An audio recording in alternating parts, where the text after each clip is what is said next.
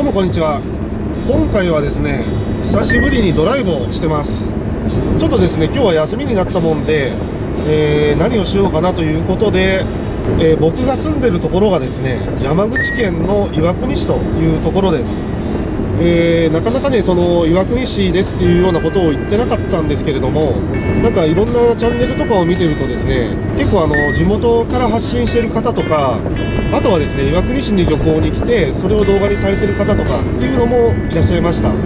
でですねまあそういうのを見てるとまあこう岩国から発信するっていうのもありなのかなとちょっと考えまして今日はですね原点回帰ということで野外飯これをねしてみたいなと思います。もう車で適当なところに行ってキャンプ場とかじゃなく自然の中でですね何か調理をしてご飯を食べると。ということをですね久しぶりにちょっとやってみたいなと思ってます。結構ね良さそうなところもあるんですよ。この辺結構田舎でですねえーと、山口県岩国市の今錦町っていう方に向かってるんですけれどもずっと行くとですね島根県との県境に行き当たるようなところです。なんかあのーまあ本当地元は田舎なのでそんなにいいところっていうイメージが最初はなかったんですけれども YouTube やるようになってですねあ実は結構いいところに住んでるんだなっていうようなことをですねよく思うようになりました。こうして走ってるとね結構いい場所も見受けられるんですけれども車を止めるところがなかったりするんですよね。どうやって降りたらいいか分かんないっていう。でまたね今日ね天気がね曇りなんですよ。本当は晴れだと一番良かったんですけれどもまあ曇ってるのでちょっとね映像としては寒々しい感じになるかもしれないんですけれどもまあそれも含めてね冬なので天気がいいのも悪いのもアウトドアかなという感じがします。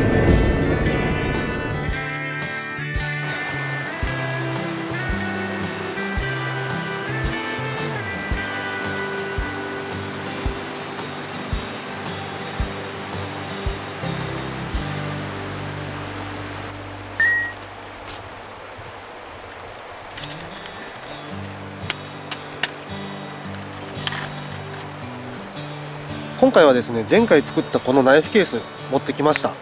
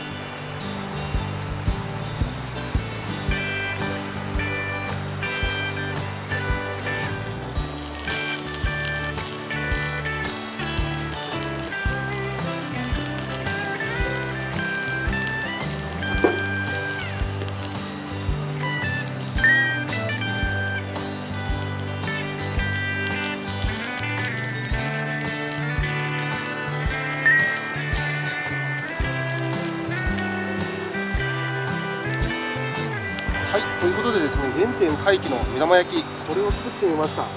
結構美味しそうですよでえっ、ー、と例によってですね忘れ物をしまして今回箸を忘れました。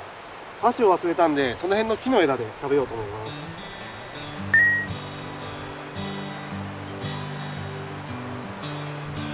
ます。間違いない味です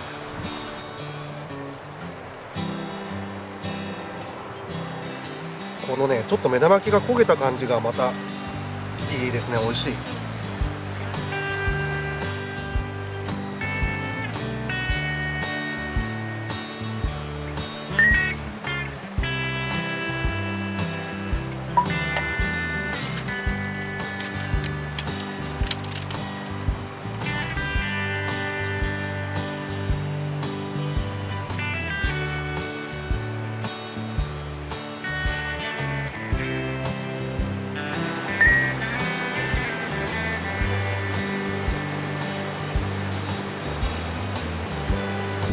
ということで今回はですね野外飯これをやってみましたけれどもやっぱりですね外で食べるご飯っていうのは何倍も美味しいというのをですね再認識しました。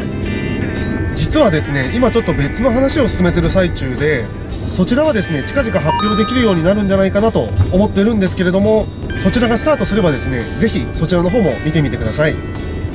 ということで今回は野外飯で自分の原点でもある目玉焼きこれを作ってみました。それでは。